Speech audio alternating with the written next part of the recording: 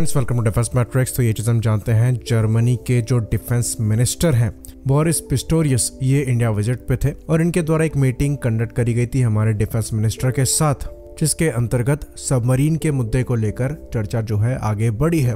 और कुछ news agencies द्वारा ये कहा जा रहा है कि जर्मनी काफ़ी क्लोज है, यूएस 5.2 बिलियन डॉलर की डील के, जो कि छह सबमरीन को इंडिया में बनाने के लिए है, प्रोजेक्ट 75 आई के अंतर्गत।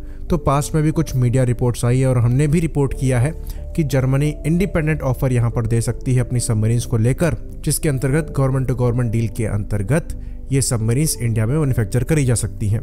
तो एक चीज़ यहाँ पर साफ़ हो गई कि ये submarines government to government deal के अंतर्गत नहीं बनाई जाएँगी इंडिया में, बल्कि प्रोजेक्ट 75 आई के अंतर्गत ही कंपटीशन के बाद इन सबमरीन को चुना जा सकता है। तो अभी भी कुछ कंफर्मेशन नहीं है, कुछ न्यूज़ हेडलाइंस है पर वो मिसलीडिंग है। तो यहाँ पर हुआ क्या है, ये हम डिस्कस कर लेते हैं। तो प्रोजेक्ट 75 आई के अंतर्गत दो इंडियन कंपनीज़ को शॉर्टलिस्ट किया गया था, एक लार्सन टूब्रो दूसरी मजगांव डॉक लिमिटेड यानी कि एमडीएल अब जो फॉरेन कंपनीज़ थी, इनको, इन्हीं दोनों इंडियन कंपनीज़ के साथ मिलकर अपनी सबमरीन्स को इंडिया में बनाना था। तो यहाँ पर फॉरेन पार्टनर कौन थे? रशिया से रूबिन डिज़ाइन ब्यूरो स्पेन से नवांतिया ग्रुप फ्रांस से naval group Daewoo shipping marine engineering South Korea से, और जर्मनी से टी के एम एस तो जो रिक्वायरमेंट्स यहाँ पर रखी गई थी, इसको देखते हुए कई कंपनीज़ यहाँ से बैकआउट कर गई थी, जिसमें फ्रेंच नेवल ग्रुप थी रशिया की रूबिन डिज़ाइन ब्यूरो और जर्मनी की टी भी शामिल थी। तो अभी क्या हुआ है, ये चीज़ साफ़ हो गई है कि इस कंपटीशन में टी वापस आ गई है। और अभी ये कंपटीशन में है स्पेन की नवंतिया ग्रुप के साथ और साउथ कोरिया की Daewoo shipping and marine engineering के साथ। इंटरेस्टिंगली फ्रांस और रशिया अभी भी ऐसा लगता है कि कंपटीशन से बाहर है, जिसकी वजह से यहाँ पर जर्मनी को सबसे बड़ा एडवांटेज है। तो मोस्ट लाइकली ये कंपटीशन साउथ कोरिया की K S S three submarine और नवंतिया ग्रुप यानी कि स्पेन की S eighty plus class submarine और जर्मनी की type two one two C D के बीच में है। तो अगर आप कन्फिग्रेशन को देखेंगे तो वेपन्स और आर्मामेंट के मामले में जो South Korean K S S three है, जिसे दोसान आन चैंगो क्लास सबरीन भी कहा जाता है ये सबसे आगे आपको दिखाई देगी। और इसमें कोरियन वर्टिकल लॉन्चिंग सिस्टम भी दिए गए हैं, जहाँ से ये बैलिस्टिक मिसाइल्स भी लॉन्च करने में सक्षम है। पर इन सबमरीन्स के साथ परेशानी यहाँ पर यह है कि यहाँ पर कई थर्ड पार्टी सिस्टम लगे हुए हैं, जिसमें से इंजन जो है ये जर्मन है, कई सेंसर्स फ्रांस से आते हैं और स्पेन से आते हैं इटली से आते हैं। तो ये साउथ कोरिया की कम्प्लीटली इंडिजिनस सबमरीन नहीं है। साथ ही साथ जो वेरिएंट इंडिया को ऑफ़र किया गया है, जिसे D S M E three thousand कहा जाता है, इसमें कोरियन वीएलएस सेल्स नहीं दिए गए हैं, यानी कि यहाँ से बैलिस्टिक मिसाइल लॉन्च नहीं हो पाएँगी।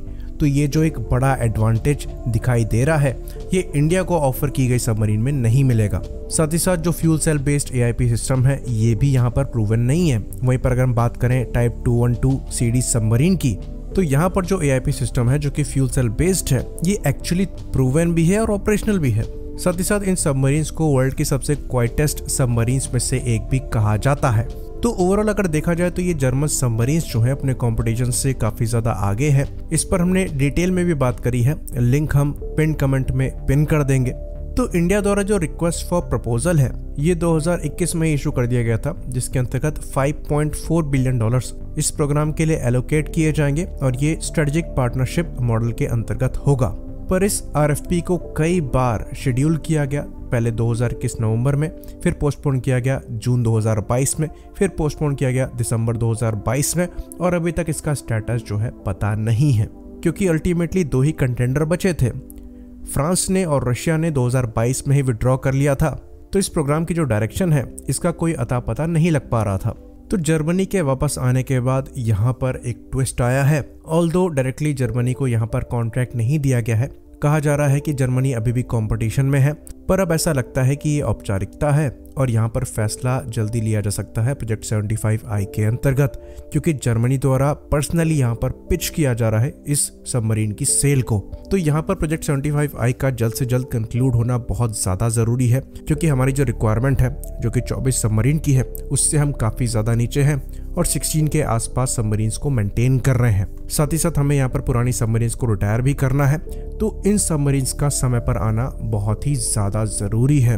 और ऐसा लगता है कि अब ये कंपटीशन जल्दी कंक्लूड हो जाएगा। आई होप इन्फॉर्मेशन यहाँ पर क्लियर रही हो। इसी बात पर इस वीडियो को हम खत्म करेंगे।